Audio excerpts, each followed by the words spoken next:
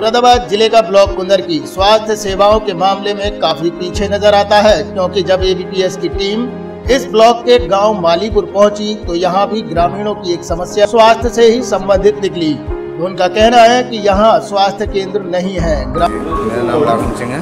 मालीपुर रहने वाला हूँ। गाँव में सब काम सही हो रहे हैं। नहीं है एक जो भी विकास हो है तो उसमें कोई दिक्कत नहीं आ रही है। आज थोड़ी लैट्रिनों की दिक्कत थी वो भी लोग कुछ लोग अ, आ रहे हैं।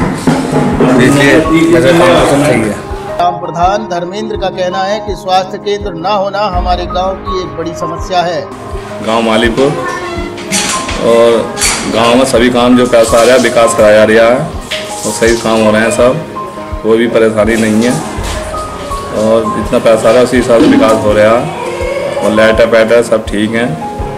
जो खराब हो रही हैं वो ठीक हो रही हैं जो नल थोड़े खराब है वो भी ठीक कराया जा रहे हैं। और स्कूल में विकास कराया जा रहा है। हाँ, ये ये गाँव में एक शमशान घाट बन जाए गाँव में शमशान नहीं है। और उसकी ज़मीन थोड़ा किसी कब्जा वब्जा कर रखा और शमशान बन जाओ ज़मीन में। और वो कोई दिक्कत नहीं है। इसके ना होने से तमाम लोगों को अपनी बीमारियों का इलाज कराने के लिए काफ़ी दूर तक का सफ़र करना पड़ता है।